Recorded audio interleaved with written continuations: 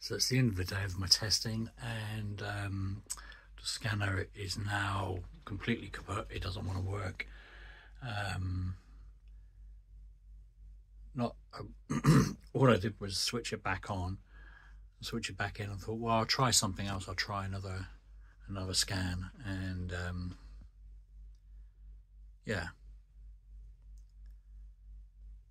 it's not having it. All I was doing, trying to do, is scan in one of my sculpts, which I've scanned in using photogrammetry apps on my uh, iPad, uh, which turned out fine, but not not really enough detail. I was kind of hoping that this would be good enough to scan my face. I've been trying to scan my face or various models all day and um, it just doesn't scan properly. And I've gone through a whole bunch of tutorials and I'm following the instructions and I think it's the scanner because now the scanner's not working at all. So I've either got a duff one or it's just a piece of shit. Um, the append so when you you can scan something and pause something, um, and then do another scan. You can put those two scans together, and you can append the image. So like if you don't get all the way around the head, you can come back, or if there's holes in your model, you can come back and um, join it. And either even if you do it manually or automatically, the two pieces don't line up properly. Um, so um, it's not good. The software is very slow. It doesn't matter if I stick it on an RTX um, uh, or a 360. It is very low.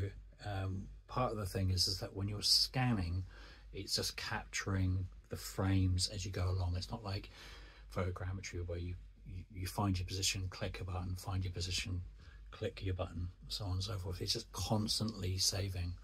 So if it's a difficult scan and you're trying to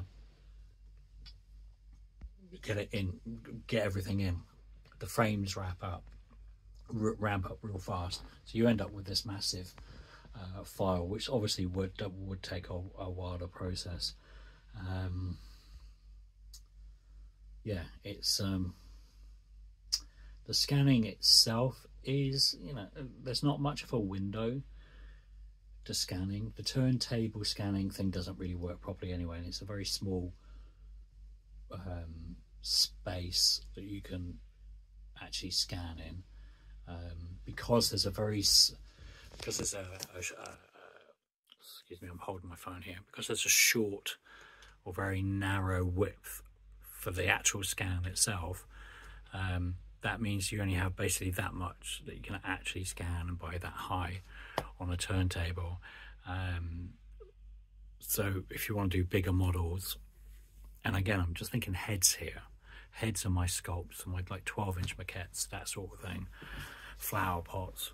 Um, if you want to do that sort of thing, then you have to do it manually by walking around. And I assume that all the IMUs in it would function the same way as you know any photogrammetry app that it would register your position and it seems to be doing that um, but it's just not very good. Um, the level of detail in the point cloud that you get is is is is is really good, and what it does with the data that it's got um, does construct a reasonable model. It doesn't texture it. I asked it to texture it and export it, but it didn't texture it, and that's what I paid for. It's the texturing model, and it captures the texture, but it doesn't save the texture, which is kind of, which is rubbish. Um, so the model that I've got scans the face and also you can take the photo at the same time and then it will put put a mesh on it. But that didn't that didn't happen. Um, and it doesn't like this fuzz or this fuzz much, which is not much of a beard. Really, it's just a bit of stubble. It would not capture anything under my chin, so there's big gaps here. Um, and then of course didn't like my my shiny dome. So and if you change the settings of the brightness I thought oh, you know what? I'll scan the face. I'll scan the face at one setting and then I'll do the dome at another setting so it's not quite shiny. Um, it's the shininess I guess that's that, that's causing a problem or it's brighter um, so that didn't work um, yeah, it's it's not a very good product, and I'm hoping it's just I've got a shit one. The one they've shipped out to me is just faulty and it doesn't work the way it should do because now it's not working at all. So I'll get onto uh, 3D Maker Pro and have a chat to them and uh, get them to send out another one or just give me a refund. Um, it's a shame because I waited waited ages for it, and it's it's one of the things that I really dislike is is I don't normally pre-order stuff, but I wanted to pre-order this because it was a reasonable price, and I had a bit of money in my pocket. Um, and I thought that's what I want to do because I wanted to scan the people's heads and make masks either based out of their their features or to you know, to their actual dimensions. I could. Um, and there are things I wanted to do with it, which I don't. I don't think I can, and maybe I can't do it at this price point. But the videos are very misleading, and the website's misleading, and a lot of the reviews seem misleading as well. Which I, I, am like, are they even genuine? These scanning reviews, um, which makes me think I just have a duff model. Fundamentally, I must have one that's just not working how it should do.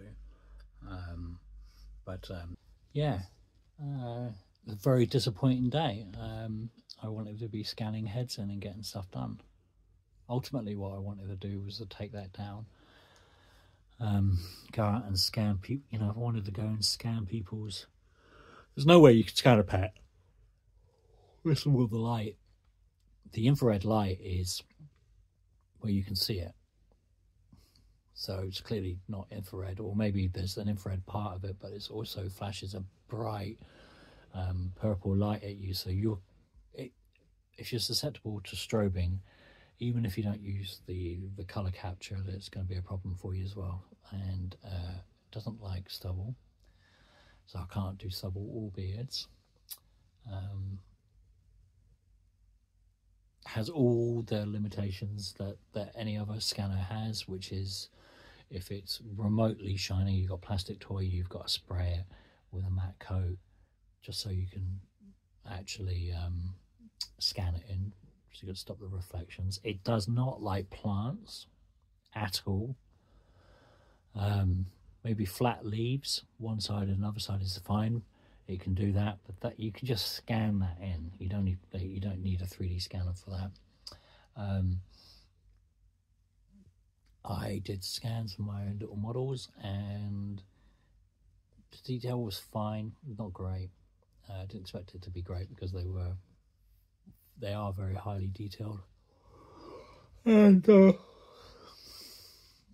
pack it up, leave it. I'll plug it in tomorrow, see if it's any better, and then I'll talk to 3D Maker Pro and uh, find out what's wrong with this piece of shit. Do not recommend it so far.